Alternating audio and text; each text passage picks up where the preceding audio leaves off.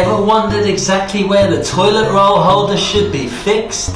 Well, it should be 600 mil off the floor and should be fixed on the side, exactly in line with the toilet pan, to the inside face of the toilet roll holder. However, there could be issues fixing it. Anyway, I bet you've never